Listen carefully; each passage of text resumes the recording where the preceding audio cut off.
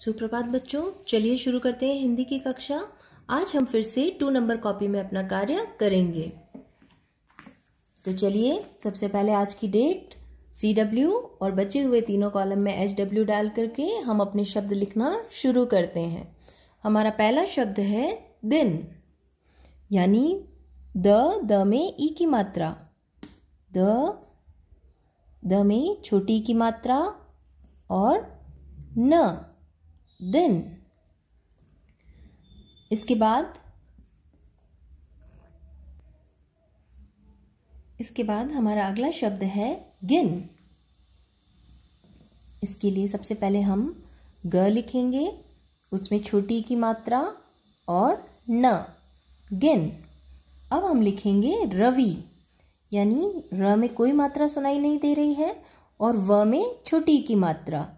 र we Ravi, इसी प्रकार किसान, यानी कि क में ई की मात्रा, की स में आ की मात्रा, सा और न, बना किसान।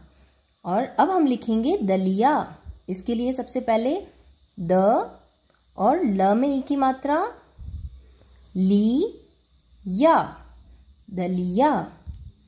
बच्चों एक बार फिर से दोहराते हैं। दिन, गिन, रवि, किसान और दलिया।